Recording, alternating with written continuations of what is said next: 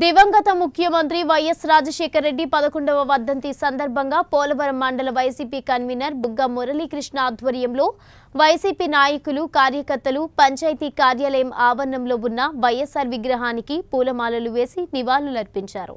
YCP senior నాయకుడు శుంకర వెంకటరెడ్డి ఆధ్వర్యంలో స్థానిక వృద్ధాశ్రమంలో అన్నదానం నిర్వహించారు. ఈ కార్యక్రమంలో పోలవరం మండల వైసీపీ నాయకులు అల్లు జగన్ ఆకుల సత్యనారాయణ దొంతల వర్మ ఫాతిమున్నీసా అహ్మద్ వలీ తదితరులు పాల్గొన్నారు.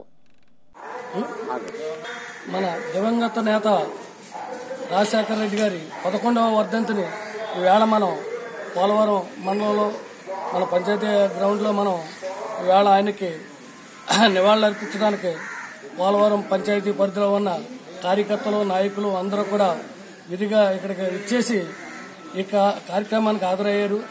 ఎందుకంటే మహానేత మనకు దూరం అయి పదకొండు సంవత్సరాలు అయింది. ఈ పదకొండు సంవత్సరాల్లోని దూరం అయ్యాడు పదకొండు సంవత్సరాలు అయింది అని అనుకుంటున్నాం కానీ మన మనసుల నుంచి ఏ క్షణము ఆయన దూరం అవ్వలేదు.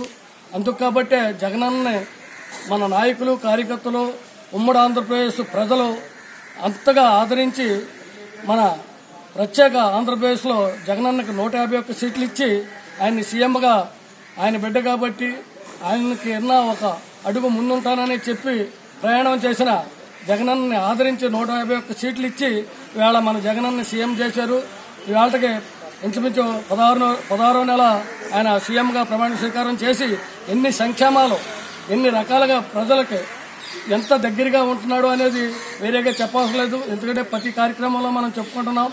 ఆయన చేసిన కార్యక్రమాలు మనం చెప్పుకోవడమే కాదు ప్రతి ఇంట ప్రతి ఆడబడుసు ప్రతి అన్న ప్రతి తమ్ముడు ప్రతి అక్క ప్రతి అవ్వ అందరూ కూడా జగనన్న సీఎం అంటే జగనన్నలాగా ఉండాలి అని జగనన్నని పెద్ద కొడుకుగా ఇవాళ ఆంధ్రప్రదేశ్ ప్రజలందరూ కూడా ఆరాధిస్తున్నారు.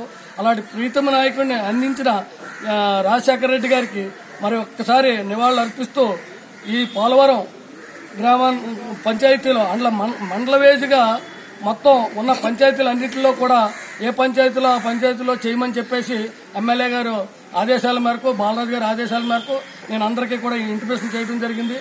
ఆ విధంగా మనకున్న పంచాయతీ అటు అన్ని- పంచాయతీల్లో కూడా కార్యక్రమాలు మన నాయకులు మన కార్యకర్తలు అందరూ కూడా చేస్తున్నారు.